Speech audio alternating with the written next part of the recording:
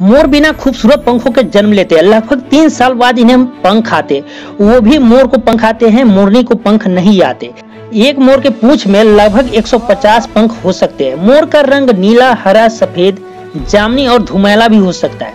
मोर के सुंदर और रंगीन पंखों की लंबाई लगभग 6 फीट तक हो सकती है, जो उसके शरीर की लंबाई का लगभग 60 परसेंट भी है।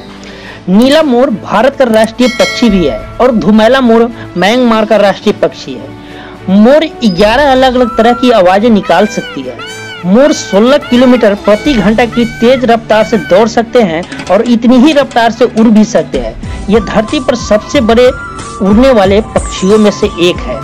मोर पानी में तुरंत डूब जाएगा क्योंकि वह तैर नहीं सकता। ऐसा इसलिए क्योंकि इनके पास झालीदार पैर नहीं होते। जंगल में मोर का औसतन जीवन काल लगभग 20 साल का होता है। मोर सर्वाहारी होते हैं, पौधे और जीव जंतु दोनों खाने वाले होते हैं। यह घास पत्ते, चने, गेहूँ, कीड़े, मकोड़े, चूहे, छिपकली, सांप तक को भी खा जाता है। इसलिए इन्हें किसान का अच्छा मित्र भी कहा जाता है। मोर का अगर पंख आपको चाहिए तो इन्हें मारने की ज़रूरत नहीं है, क्योंकि यह हर साल अगस्त के महीने में अपने पुराने पंखों का छोड़ देता है। आप जंगल आदि से इन्हें इकट्ठा कर सकते हैं। मोर के पंख ऐसे छोटे छोटे क्रिस्टल जैसे संरचना से ढके होते हैं कि आप जितनी बार अलग एंगल से इन्हें देखेंगे, आपको हर बार नया रंग दिखाई देगा। हमिंग हमिंग बर्ड और स्विमिंग बर्ड तितलियाँ के पंख भी ऐसे ही है क्रिस्टल होता है। मादा मोर आमतौर पर जनवरी और मार्च के बीच अंडे देती है। यह एक बार में तीन से छह अंडे दे सकती है। फिर यह अपने अंडे पर बैठती है और लगभग 28 दिनों के बाद एक मोर का बच्चा अंडे से बाहर आता है, जिसका जन्म के समय वज़न 103 ग्राम होता है। मोर का बच्चा अपने जन्म के एक दिन बाद ही चलने, फिरने और खाने लायक हो जाता है।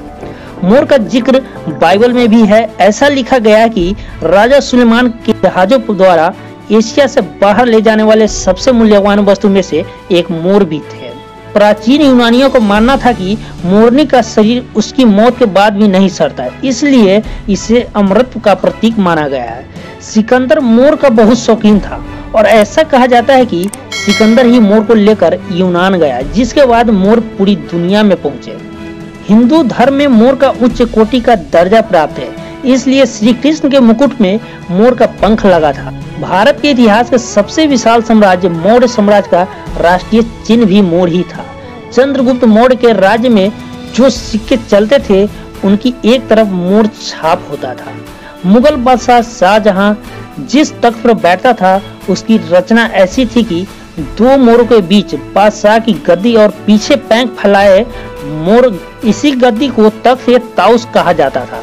आपको बता दें कि ताउस अरबी भाषा का शब्द है जो मोर के लिए उपयोग होता है। प्राचीन काल में मोर के पंख को स्याही में डुबोकर लिखने के लिए भी इस्तेमाल किया जाता था। आपने रामायण, महाभारत आदि में लिखते समय बड़े बड़े ऋषियों के हाथ में इसे देखा भी होगा। अगर ये वीडियो अच्छी लगी हो तो लाइक, शेयर, सब्सक्राइब करना मत भूलिएगा। फिर मिलते हैं नेक्स्ट वीडियो में।